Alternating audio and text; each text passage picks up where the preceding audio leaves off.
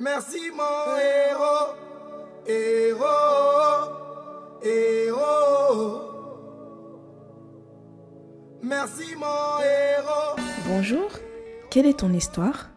Je vais vous parler de l'importance du dialogue entre parents et enfants sur la sexualité.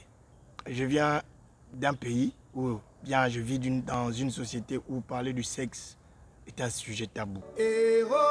Qui est ton héros Cependant, j'ai eu la chance, la grâce d'avoir une mère qui est restée à la fois très très africaine dans le respect des principes africains et très très religieuse, si je veux me permettre de dire.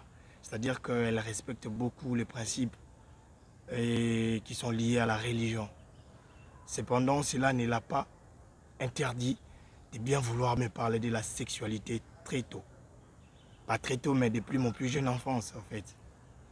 Et c'est une expérience qui m'a évité des troubles pendant mon adolescence, pendant ma puberté.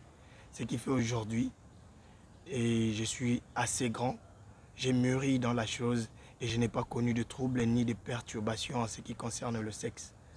Et c'est souvent avec plaisir que je me permets de dire, car ma mère a tant aimé ma future épouse, qu'elle s'est surpassée pour lui préparer un mari sexuellement sain et équilibré.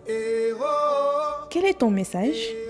Je profite pour dire à tous les parents qu'il n'y a aucune honte de protéger ou bien de faire de son mieux pour préparer l'avenir de sa postérité en parlant de la sexualité qui peut nuire, qui peut causer des dommages dans la vie future de vos enfants. Alors brisons les tabous et parlons à nos enfants sans pour autant avoir honte. Merci mon Briser les tabous. Parler de la santé de la reproduction et de la planification familiale avec les jeunes pour les aider à vivre une vie épanouie. Soyez héros aujourd'hui. Comment te dire merci, toi, mon héros vivant?